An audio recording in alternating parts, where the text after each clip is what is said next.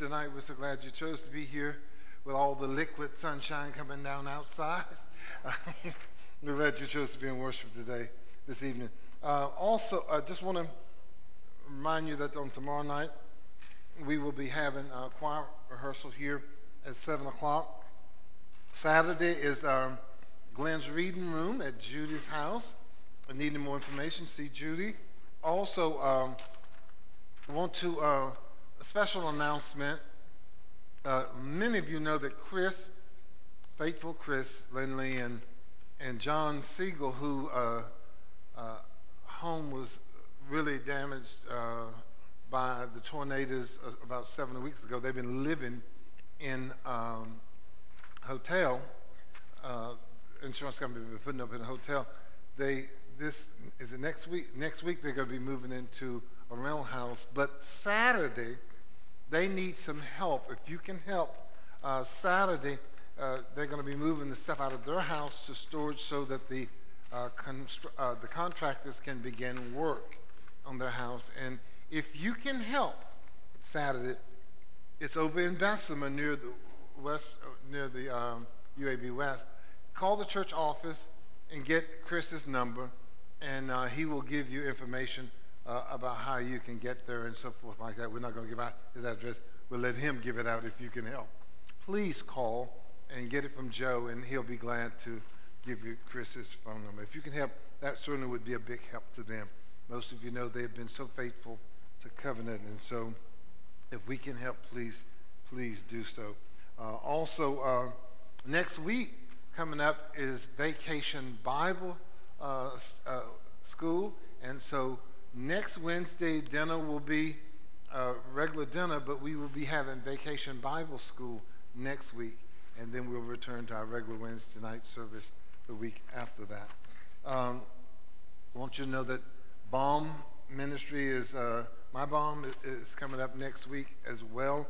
And uh, so just be mindful of that.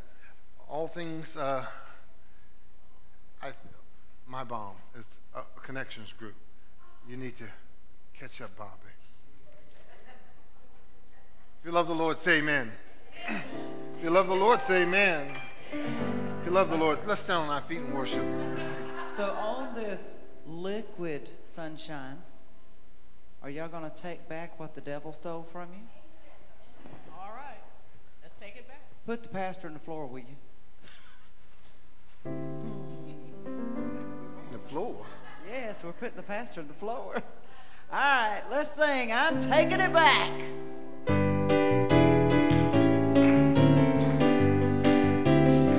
I'm taking it back. I'm taking it back.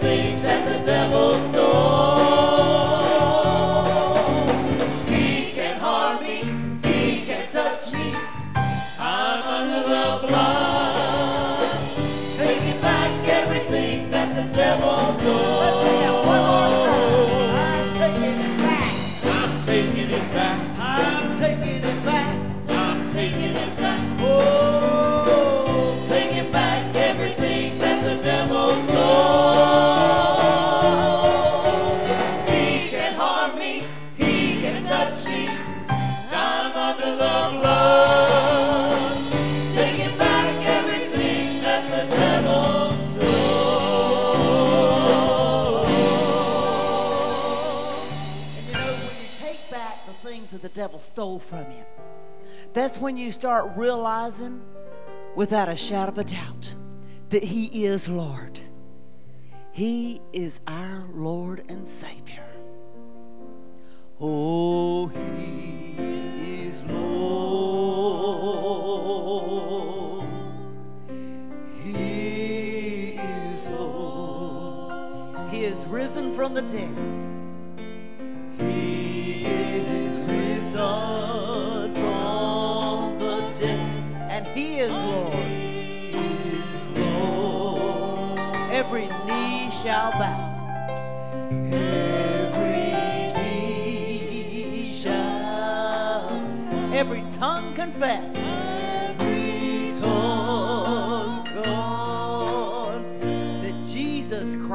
Lord. Jesus Christ is Lord. And now let's personalize it. You're my Lord. You're my Lord. You're my Lord. You're my Lord. You have risen from the dead. You have risen.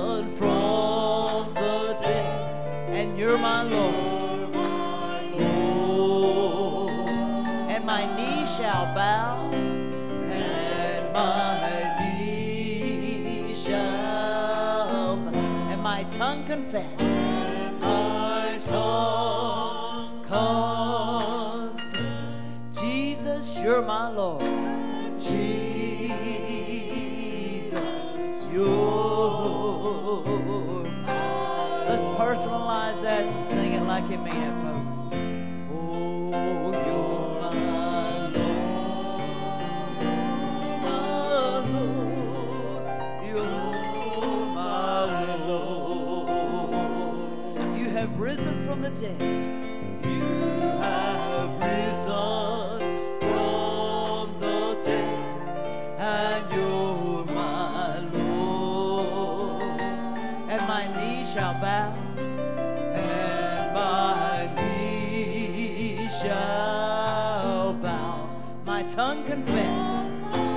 tongue confess.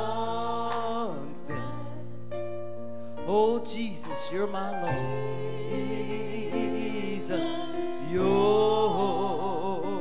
my Lord. Peace, peace, wonderful peace.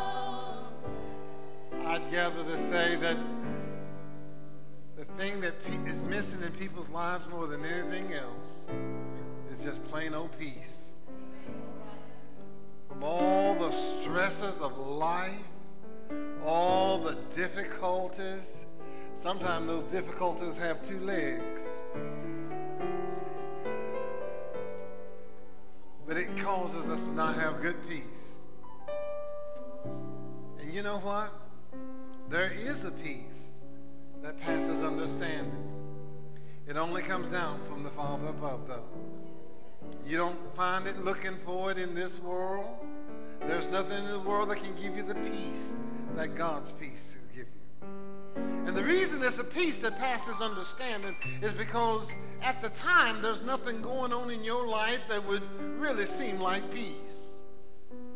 But you have it in the despite of all the disruptive influences that's going on.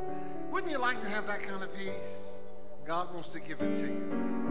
Maybe some of you need to relieve yourself of some of the stresses that have gone on this week. Maybe you need to just leave them at the altar. That songs that take it to the Lord and leave it there. If you do, come to the altar and leave that peace here. Leave those and get the peace here. Peace. wonderful, coming down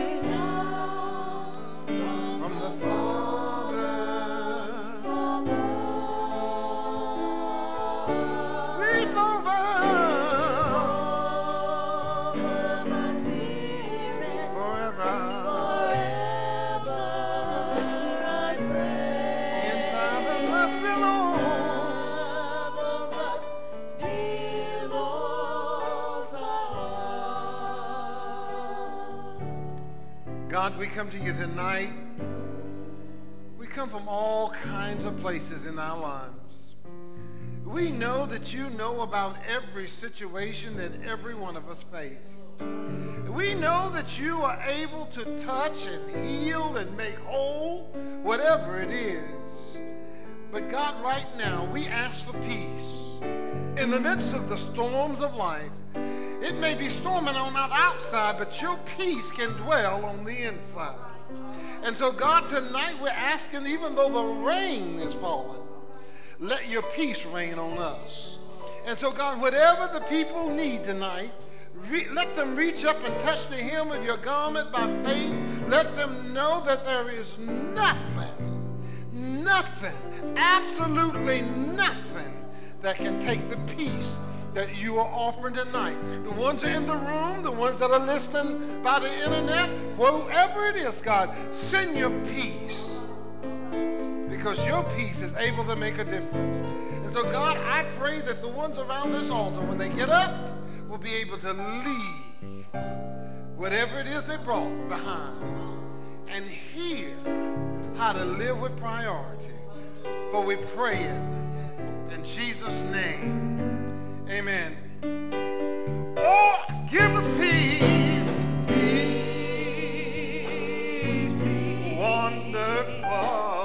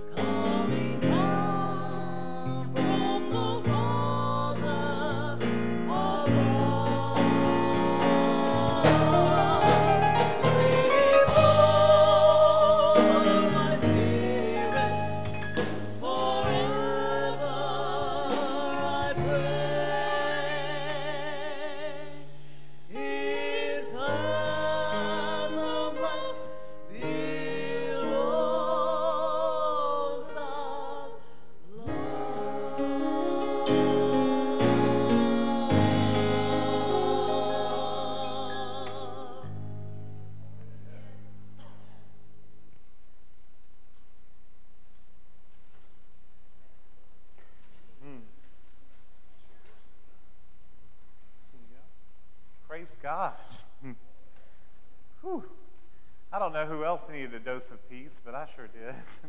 and I thank God for it. And you know, I was thinking on the way in tonight with it raining and raining and raining some more. I was like, well, thank God, because we need the rain. When we get to August, we're going to be like, where'd all that rain go? So I thank the Lord for it. How wonderful is it to have Covenant Community Church to come to on a Wednesday night and to get that dose of peace?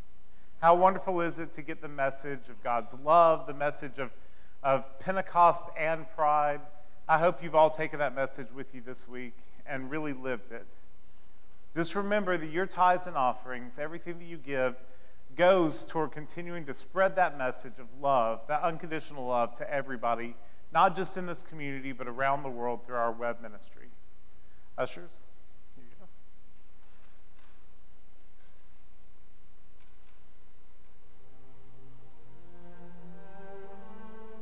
But I say unto you, love your enemies. Bless them that curse you. Do good to them that hate you. And pray for them which despitefully use you and persecute you. Which is the first commandment of all?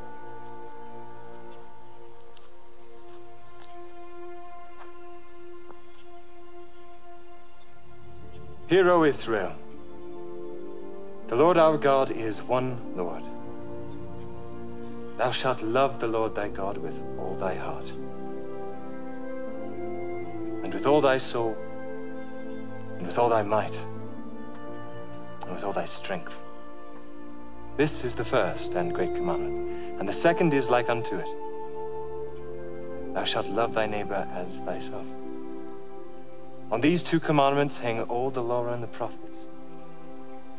Master, thou hast said the truth. There is one God, and none other but He. And to love Him with all the heart, and with all the understanding, and with all the soul, and with all the strength, and to love his neighbor as himself, is more than all the whole burnt offerings and sacrifices. Thou art not far from the kingdom of God.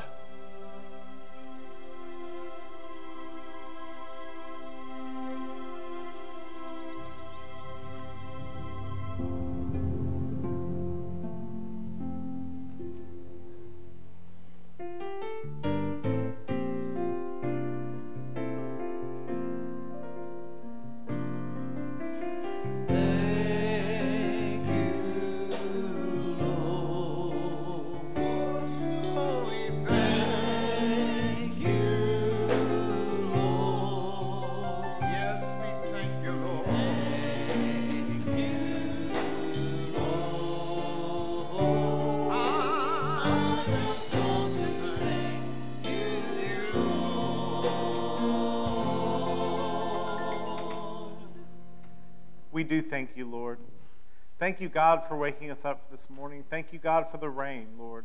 Thank you for keeping us all safe as we got here tonight and as we go home. Lord, I pray that you will bless these tithes and offerings, Lord, and multiply them as you do the fishes and the loaves when you fed the multitude. In your name we pray.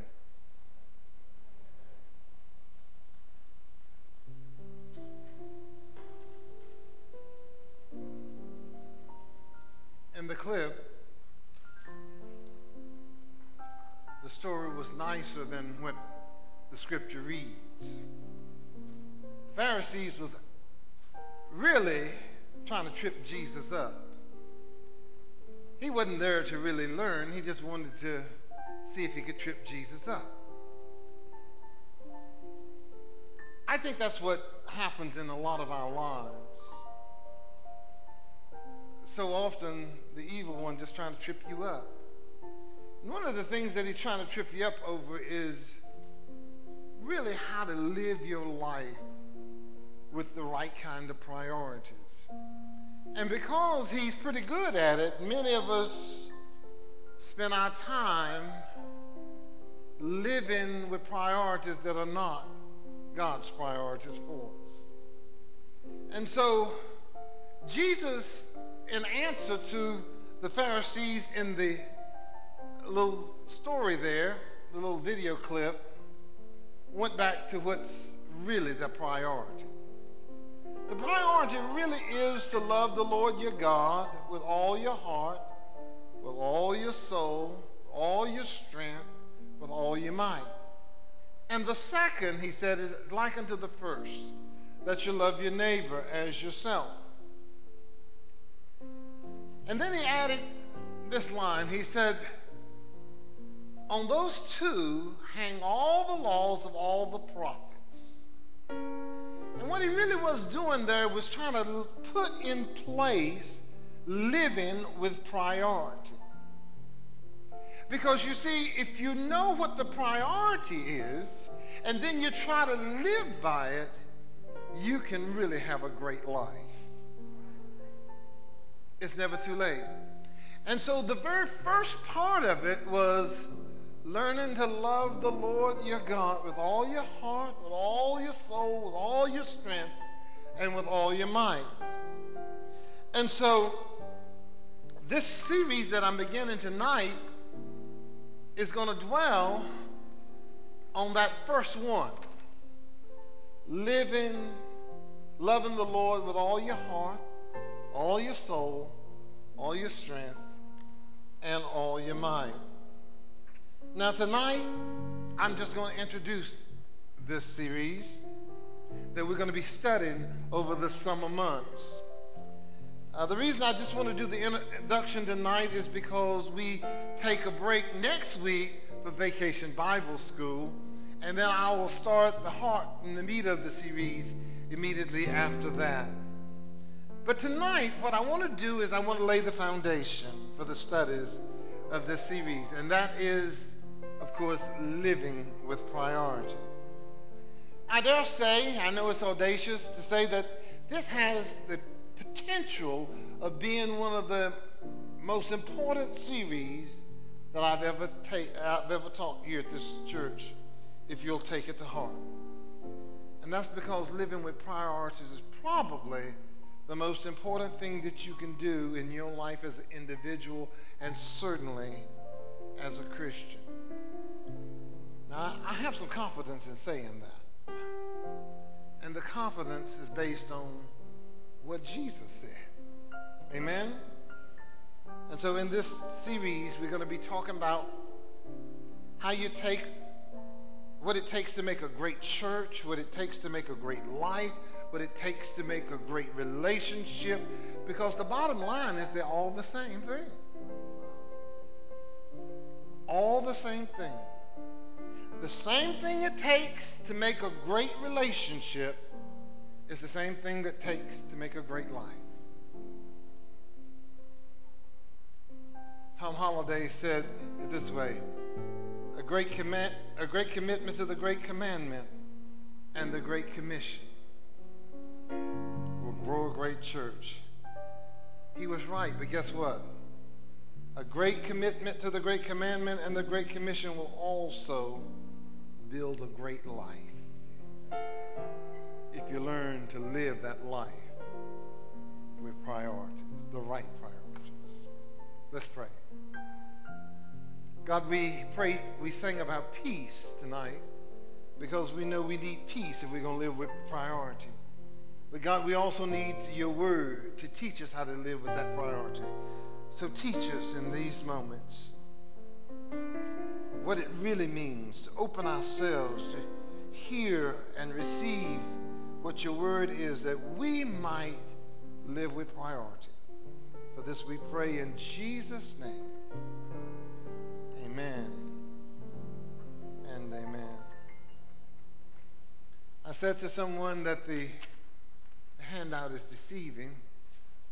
Uh, usually, if there's a short one, it means it's a long term, right? If it's not, if it's long handout, it goes the other way. Hopefully, it'll be the other way, unless I get wound up, and then you never know. Um, living with priority.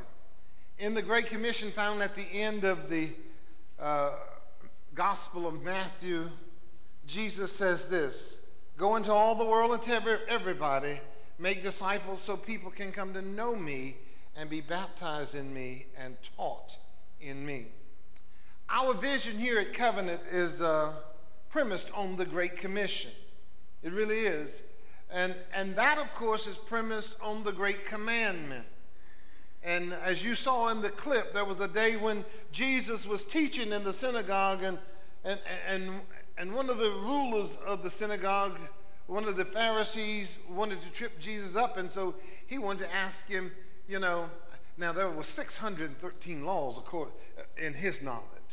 Uh, if some places says 633. Uh, and so he thought, well, you know, let's just put him in a hot spot.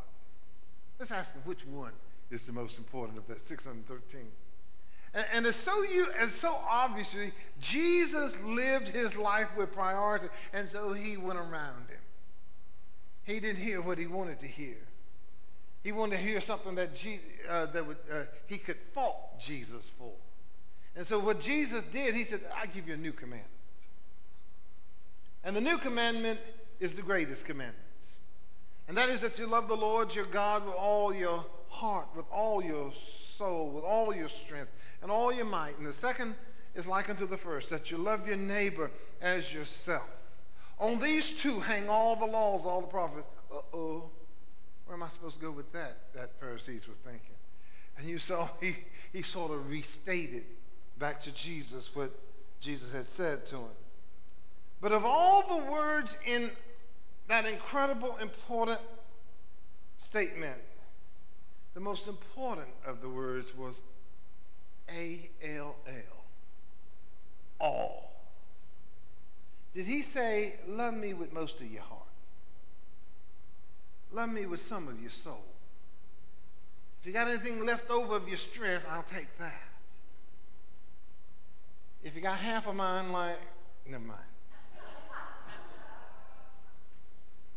No. Love the Lord with all your heart, with all your soul, with all your mind, and all your strength. That seems like an awful lot, doesn't it? With what everything we got to compete with, what do you want to ask me for everything? That's because he deserves everything. And that's because you're going to find out that if you learn to live God in an all, love God in an all-out way, it'll cure a lot of the ills that's going on in your life. Amen? And so in this series, we're going to be talking about living with priority. Jesus said that this is life's greatest priority. What is the most important thing you can do with your life? He said, love God. Because you find it all through the New Testament in all kinds of ways. Uh, you know, in uh, Matthew 6, when it says, uh, Seek first the kingdom of God and his righteousness, and all these things will be added to you. It's about priority living. If you love, if you seek God first, in other words, if you love God first, if you put your priorities there, then all these other things that God knows you need will be supplied. I didn't make it up, it's in the book. Amen? Nothing, absolutely nothing is more important than the way you and I love God in our lives. There's nothing more important than that.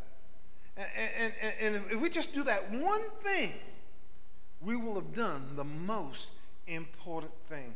And one of my life goals, and I, and I hope it is every Christian's life goal, I hope it's your life goal, is to really learn how to love God in a deeper way than I do today. Any of you remember that old song, uh, old Southern gospel song, uh, uh, His love, how did it go, Pam? His love is deeper, richer, pure, sweeter. You remember that song? That's what you're supposed to be striving for every day. That song was based on this, on, on this scripture because it's about priority living. If you learn to love Him richer and pure and deeper, it gets sweeter every day. Amen? And I, and I hope that that's your, your uh, goal because excellence in any relationship that you have, even with St. Francis, starts with your ability to love God with all your heart. It starts with, even if you do love that woman, you know, It starts with loving God first. If you don't learn to love God, you're not going to be able to love that significant other the way you should love them. That's just a fact of life. Oh, you can love them, but you, it'll not be what it could be if God was first in it. Amen? And so that's where it all starts. Jesus says, Here's what I want you to do I want you to love God with all your heart, with all your soul, with all your strength, and all your mind. And he's saying, It's worth your time to develop that kind of love for God. Jesus is all saying, also saying to you and me that, guess what? If I tell you that, that this is what you ought to do, believe me, you can do it. Because I'm not going to ask you to do something that you can't do. Jesus is not going to say, um, now love the Lord with all your heart. Now, I realize that you're never, never going to be able to do it, but try. That's not what, no. You can learn this. And this, if, who was our great example? Huh? Don't be timid. You got it. Who's the greatest example? What was, how did he live his life? Loving God with all his heart, soul, mind, and mind. And when someone who's a pro at tell, telling you to do something, you ought to do it. You ought to follow their advice. Amen? And G- nobody's better at loving God than Jesus. Jesus is a real pro at Jesus looked at us and said, Here's what I want you to do. I see the potential in you to love the Lord with all your heart, with all your soul, with all your mind, and with all your might. And some of you think, Well, not me. I can't do that. Really? Are you really calling Jesus a liar?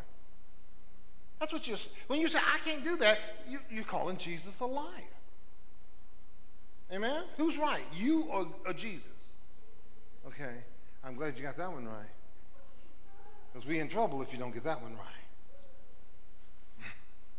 Because the Bible said God's word be true in every man or life and woman. Amen? And why don't we have, why don't we do that? Okay? Jesus never asked us to do something he didn't tell us that we can't do. And so over the summer months, we're going to talk about how you do that. We're going to talk about how you love the Lord because it's more than just one session. It's about different aspects. We're going to break this loving your God with all your heart, your mind, your soul, and mind. We're going to break it down for you. And when we learn, because when we learn to do that and we learn to apply that kind of love, spills over into other areas of our lives. And then we'll learn to love that difficult person at work. We'll learn to love our spouse even when they ain't that loving at times. We'll learn to love those folks at church that we don't particularly like. Amen?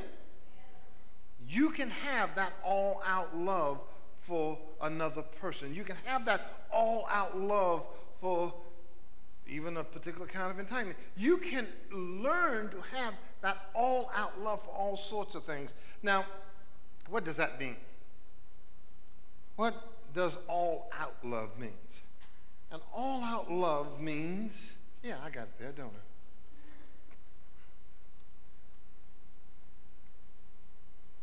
I think an all out love means that the love begins to occupy most of your waking moments, most of your waking thoughts, rather.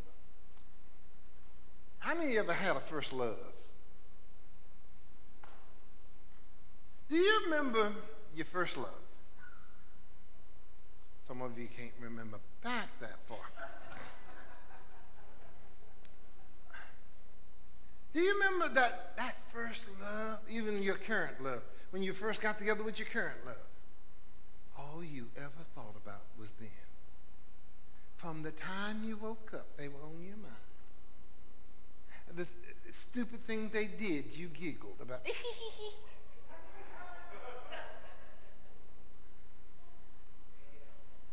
That wasn't a bit more funny than a man in the moon, but you did. You thought it was. Because it was occupying every thought. And when and, and, it was good and it was new and, and so it, it was just he, he, he left the cap off the toothpaste. now you want to kill him if they leave it off. But back then, you know, it was just it Why? Because that's just the way it is. And all out love occupies much of your waking thought. You go to work, and it's a wonder if some of you didn't have uh, uh, definitely accidents because you think and not paying attention what you was doing.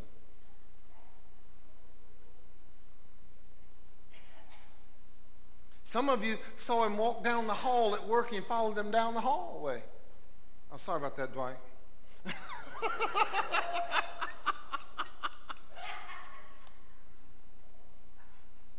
but it y'all somebody protect me on the way out tonight. Uh, but but it occupied your every thought. And all love is consuming. It occupies most of your thought. And, and, and, that's the kind of love that jesus is telling us we need to have a love that occupies most of our thoughts. Because if it does, then we won't get sidetracked with so much of the foolishness that we get sidetracked by. Amen? An all out kind of love also impacts a majority of your decisions.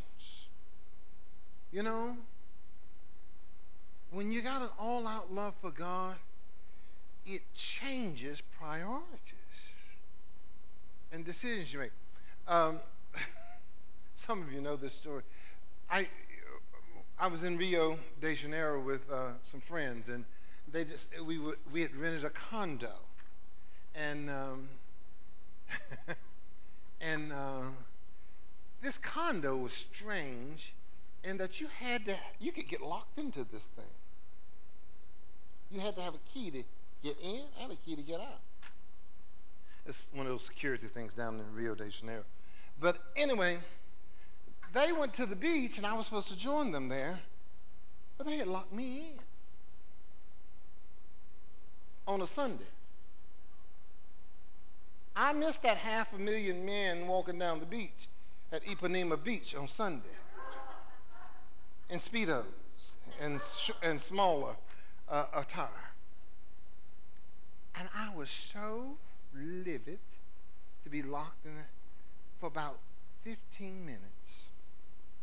And I thought, I've got a, I've got, I've got some say so in this. Whether I'm going to be bitter or better.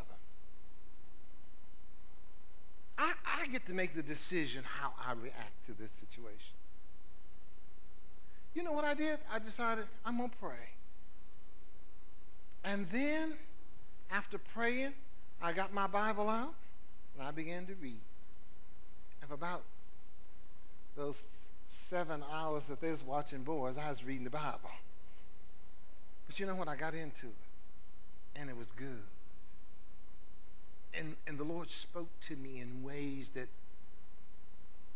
I, I would not have had on that, on that trip. And so he didn't realize until they were getting ready to leave the beach. He said this horror came over him. What if I've locked him in? You have. And he was dreading all the way back because that's what had happened, and he had. And he was dreading to see me. But there was no need to.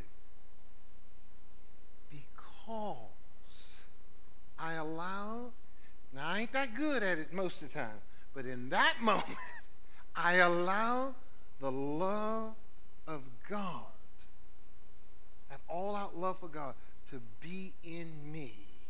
And it impacted the decision I had. And when he walked in scared to death that I was going to kill him, I was fine. Oh, he took me out to the biggest steak dinner you ever seen. I told him, you don't have to do this. And he spent the rest of those 19 days in Rio de, trying to make it up. To, but it wasn't, that was his guilt, not mine. And it wasn't something I put on him. Because the love of God, that all out love for God, impacted my decision. Do you understand what I'm trying to say here? You get to make the decision. It impacts your decision. You have the power with the love of God to decide whether somebody else makes you miserable or not. And if you're still miserable, because you decided to be miserable. You decided that somebody else was going to make you miserable. And you allow that to impact your decision, not the all out love of God.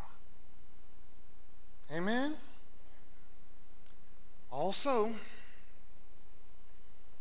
using that first love thing again, it causes you to make lavish sacrifices. Let me, let me tell you something. You know how you go without, when you, you know, when you first fell in love, you go without sleep and go to work the next day just to be close to him. That's a sacrifice. Amen. Any of you remember, uh, the, you know, you, you, just wanted to be near them. And, and whatever it took. And boy, being at work was such a chore to be away from them. Now you can't wait to get to work. But I'm, I'm just, I'm just kidding. I'm just kidding. But you make lavish sacrifices. You ran up your credit card, buying them a little trinket or something, whatever. See, but I didn't say they're all wise decisions. what if you had an all-out love for God like that? What would that do for you? Well, I think that all-out love for God, for if you had that all-out love for God in your life, it would energize your life. Some of you are so tired from living, tired from the daily grind of living. I mean, you come to the end of the day, you can barely put one leg before the.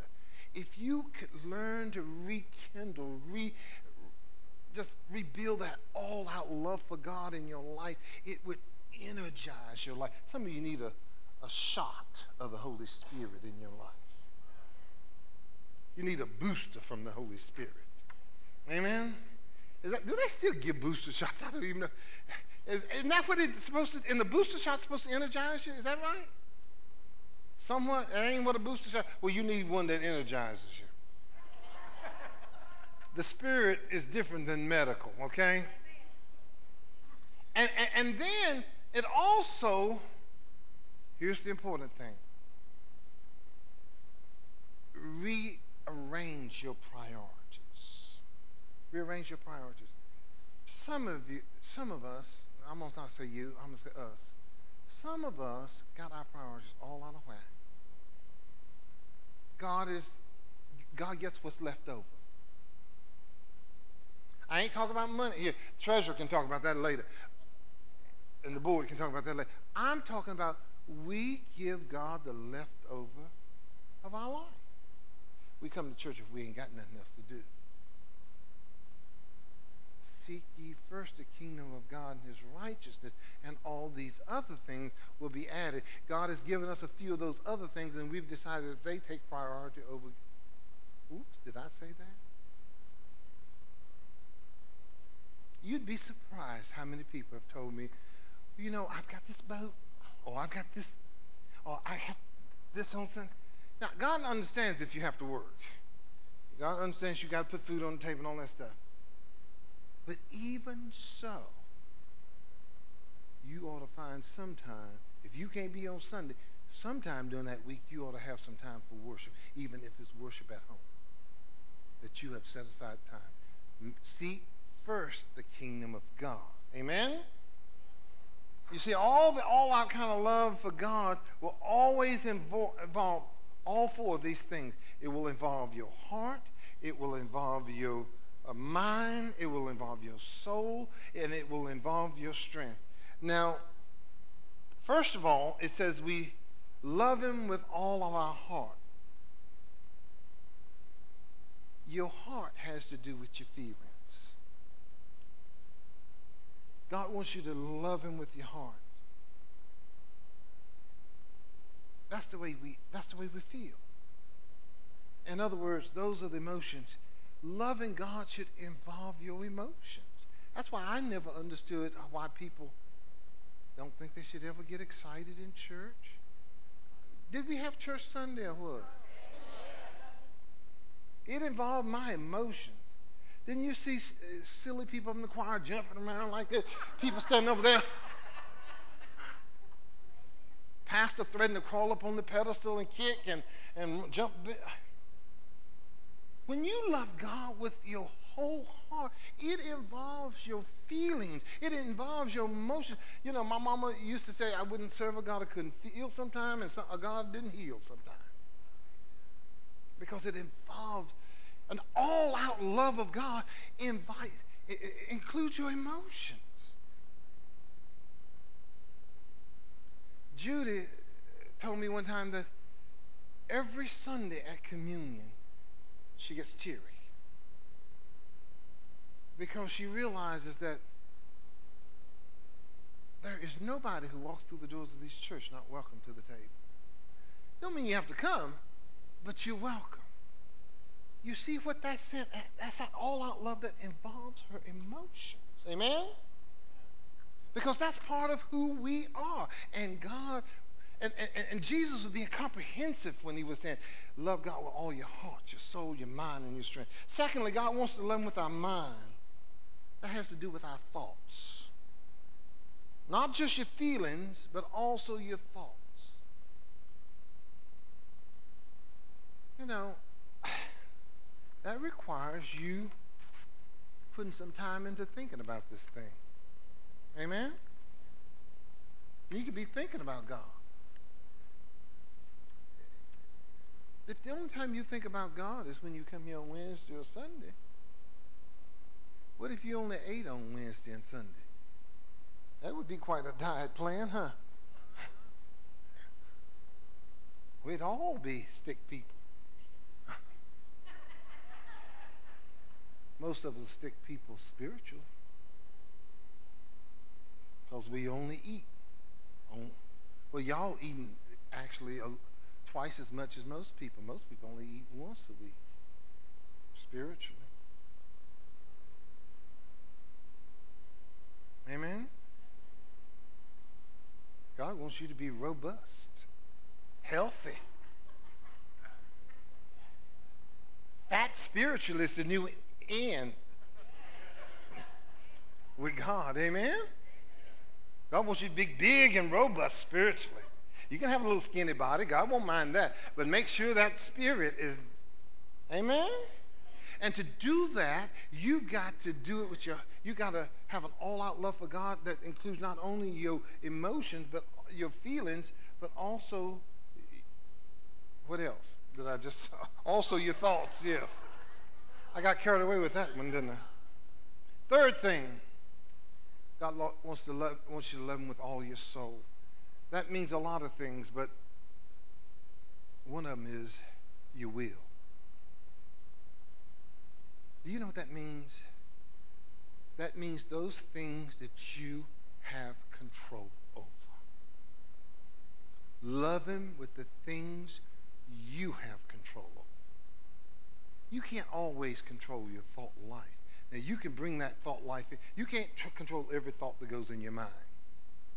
Even when you are trying to love God with all your thought life and so forth, I give you a classic example, and I've used it here before. Have you ever been praying and some weird thought just runs through your mind? Has nothing to do with what you're praying about, what you're thinking about. Just something really off the wall run through. You don't always control. But loving God with all your soul, your will, means loving God with the things you have control over. That day in Rio de Janeiro, I had control over how I reacted to that situation. And God's love allowed me to act healthy. Like I said, I missed the mark plenty of times. Got it right one time out of a thousand. Okay. but the thing with you, you have control over your will. You have control over your will. Love God, and all out love for God means to love God with your soul. That's your. Have you ever thought about loving God with the way you decide stuff? Maybe instead of deciding to be negative about a situation before you know all the parameters of it, you may need to decide, I'm going to wait till I know all the facts before I jump get my exercise in jumping to conclusions. That's some, that's, sometimes that's the only exercise some people get, jumping to conclusions. And then when the facts come out, they don't resemble anything, and then you look like, and then, you know, a lot of folks will not say they're sorry and wrong if hell freezes over. But Jesus challenged us to do that. Love at all out love with God with ourselves. And then the fourth thing, Jesus said, I want you to love God with all your strength. That's a companion to the last one. That's our actions. That means the place where you put your energy. If we put as much energy into love as we put into gossip, negativity, and naysaying, boy, what the world would look like, what our church would look like. Amen? And so tonight, two weeks from tonight, because remember, you're to be here next week for what, Patricia?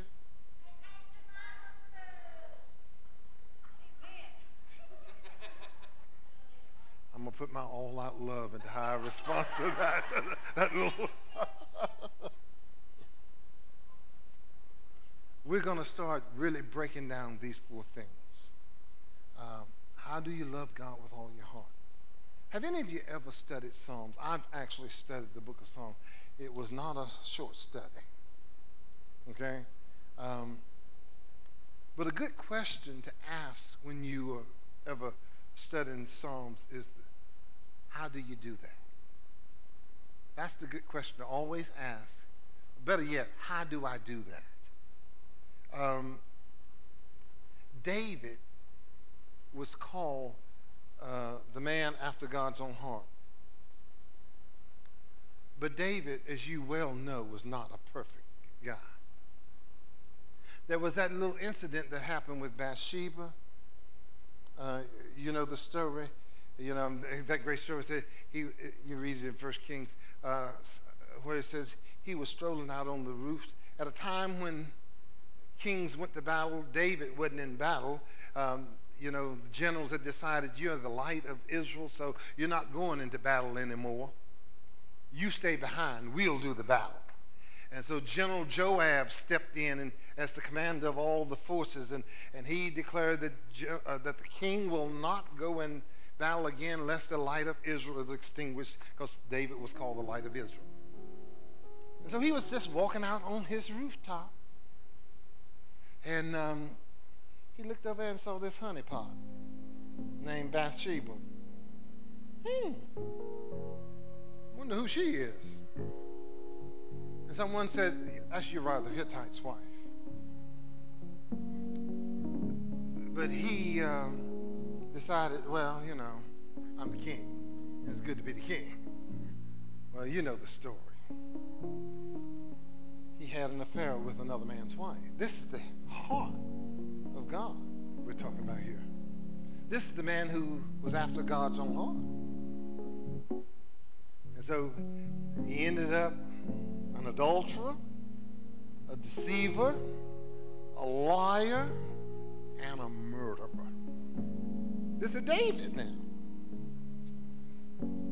And that was just one of the incidents. There's lots of other incidents. Like he was far from perfect. That's the moral of the story. And yet God would continually look at David and say, He's got the kind of heart that pleases me. He's got he's the he's the kind of person I look at and his heart is so full. What was it about David? David, this liar, this deceiver, this uh, uh, uh, adulterer, and this murderer, what was it about him that had the kind of heart that pleased God? You think you've done some bad stuff? I bet you ain't done anything like David. And I bet you those four things I just mentioned is just the tip of the iceberg. Do you know that great line? Have you ever heard somebody being the apple of somebody's eye? Do you know that that's a term from the Bible where it's talking about David? It said that David the, was the apple of God's eye. This man who did all of this. Well, if you read through the Psalms that David wrote, and by the way, David did not write all 150 Psalms, okay? but he wrote most of them.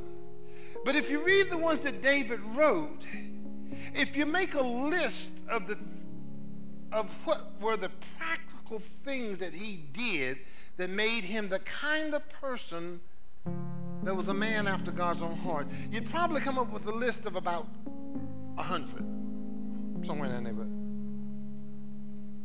A hundred things that he did that made him a man after God's own heart. Two weeks from the night, I'm going to share the big six with you.